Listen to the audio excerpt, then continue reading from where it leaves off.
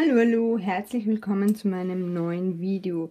Heute in diesem Video zeige ich dir die Strickschrift bzw. das Zählmuster von meinem Tuch Tulpina. In den vergangenen Teilen habe ich dir verschiedenste Techniken gezeigt, wie du so ein zweifarbiges Tuch anfertigen kannst. Natürlich kannst du eben auch jedes beliebige andere Muster verwenden, entweder eines selbst designen oder dich auf der Google-Suche mal inspirieren lassen. Ich werde dir im Anschluss des Videos alle Musterelemente nochmal einblenden, so dass du dir entweder einen Screenshot machen kannst oder eigene Notizen dazu abschreiben kannst.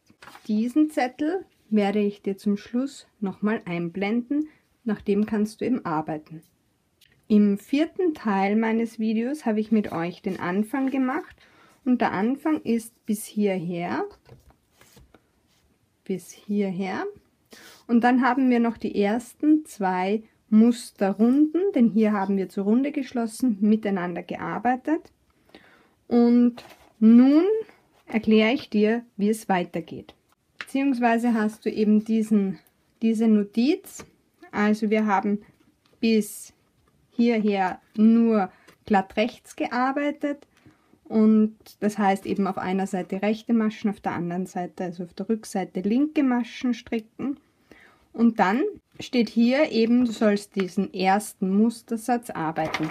Das ist dieser erste Mustersatz, also du arbeitest nach dieser Zählschrift. Dann kommt der zweite Mustersatz. Der zweite Mustersatz baut sich aus verschiedensten Musterelementen zusammen. Wir haben hier ein Musterelement, wie gesagt, du bekommst das noch eingeblendet, und zwar ist das eben der rechte Rand mit der Nummer 1. Dann haben wir dieses zweite Musterelement mit der Nummer 2. Dann haben wir das dritte Musterelement mit der Nummer 3 und hier das vierte Musterelement. Du brauchst eigentlich immer nur diese vier Musterelemente, die versetzen sich. Also das kannst du eben hier sehen. Über dieser Figur ist dann nicht mehr die gleiche, sondern eben eine andere Figur. Hier ist auch erklärt, aus was sich dieser zweite Mustersatz zusammensetzt. Aus dem rechten Rand, eben mit der Nummer 1,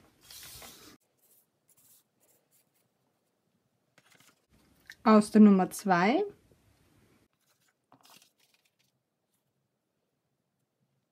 und aus dem linken Rand mit der Nummer 4. Das heißt, die Nummer 3 brauchen wir in diesem Musterabschnitt noch nicht.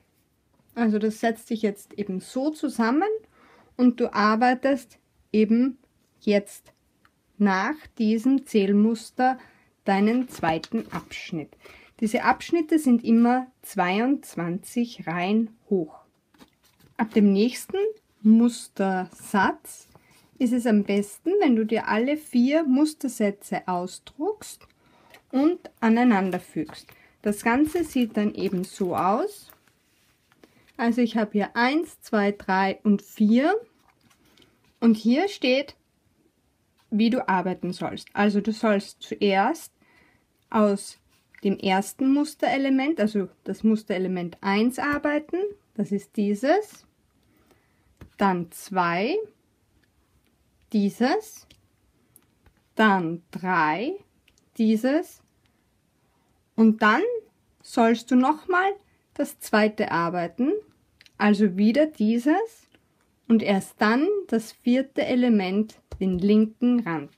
Also eigentlich sind wir jetzt eben hier in diesem Abschnitt. In den folgenden Abschnitten ist es eben nur noch mit diesen Nummern hier nummeriert und du weißt, welchen Mustersatz du gerade arbeiten sollst.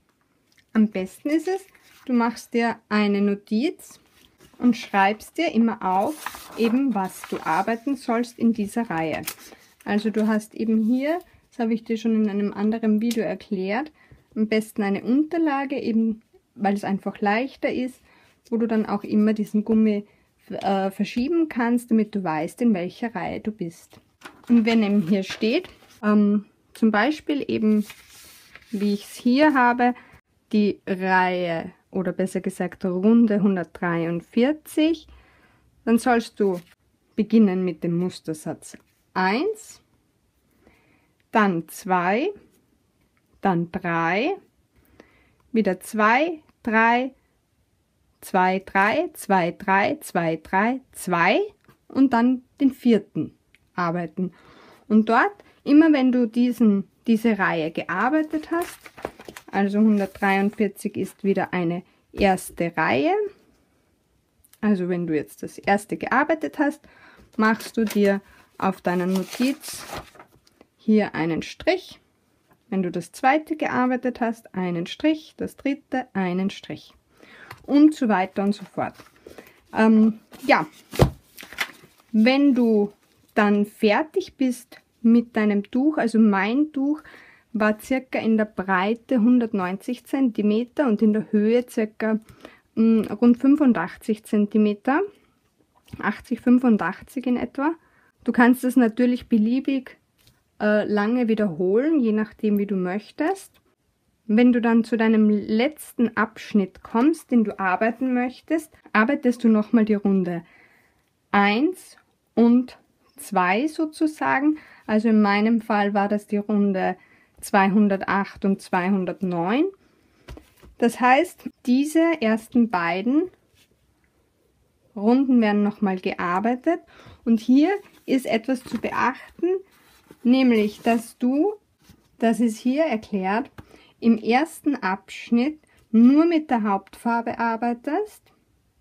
Das hat den Grund, wenn du jetzt hier wieder ähm, gleich mit diesem Zählmuster fortfährst, beginnst du sozusagen wieder ein neues Musterelement und das wollen wir eben nicht, weil es einfach einen schöneren Abschluss ergibt. Das heißt, im ersten arbeitest du nur mit der Hauptfarbe, also du arbeitest diese Elemente nicht mehr. Im zweiten kannst du ganz normal nach deinem Plan arbeiten. Im dritten Element arbeitest du dann nur diese vier Maschen hier in dieser ersten Reihe und nicht mehr diese. Also das ist eben hier notiert. Und im vierten ist es das gleiche, also auch wieder nur in der Hauptfarbe arbeiten und nicht mehr diese ersten ähm, Elemente arbeiten, damit wir nicht eben mit dem neuen Mustersatz beginnen. Wenn du diese zwei Runden gearbeitet hast, also auch in der nächsten Runde ist erklärt, wie du es arbeiten sollst. Also da haben wir dann auch in dem dritten nur noch die Hauptfarbe, denn nur in dieser ersten also im dritten Mustersatz, denn nur in der ersten Reihe haben wir hier diese Kontrastfarbe eingearbeitet, in der nächsten Reihe nicht mehr. Dann arbeitest du zwei Runden nur mit deiner Hauptfarbe und strickst die Kontrastfarbe mit ein. Ergibt einfach einen schöneren Effekt, muss man natürlich nicht machen, ich habe sie mit eingearbeitet. Dann kannst du in der Runde 212 abketten. Was du nicht vergessen solltest, ist immer die Zunahmen zu arbeiten. Einfacher ist es übrigens auch, ähm, wenn du dir zwischen jeden Musterabsatz, also wenn du hier dann hast eben viele verschiedene, also 2, 3, 2, 3, immer dazwischen einen Maschenmarkierer ähm, auf die Nadel gibst. Dort erkennst du dann einfach leichter, wenn du einen Fehler drinnen hast. Nach jeder 22. Runde setzt sich ja das Muster wieder neu zusammen, weil es sich versetzt. Das heißt, du musst auch deine Maschenmarkierer wieder neu setzen, aber immer nur in dieser ersten äh, Musterreihe setzt du eben diese Maschenmarkierer wieder neu. Ja, wie eben auch schon zuvor erwähnt, ich habe mir das Ganze eben einfoliert und eben diese einzelnen ähm, Musterteile dann zusammengeklebt und habe auch sogar hier dazwischen etwas Platz gelassen, aus dem Grund, dass ich hier mir auch nochmal die Musterreihe von 1 bis 22 markiert habe, ähm, um einfach, wenn ich mit meinem Gummi hier entlang gehe, wirklich kontrollieren kann, ob ich überall also nicht schief bin, sondern überall in der fünften zum Beispiel Musterreihe Runde bin. Ja, das war's von meiner Seite. Ich hoffe, es hat euch gefallen. Ich wünsche euch gutes Gelingen beim Nacharbeiten und viel Freude mit eurem Tuch. Wenn es euch gefallen hat, gebt mir bitte einen Daumen nach oben, abonniert meinen Kanal und empfehlt ihn weiter. Danke fürs Zusehen. Tschüss, eure Nele.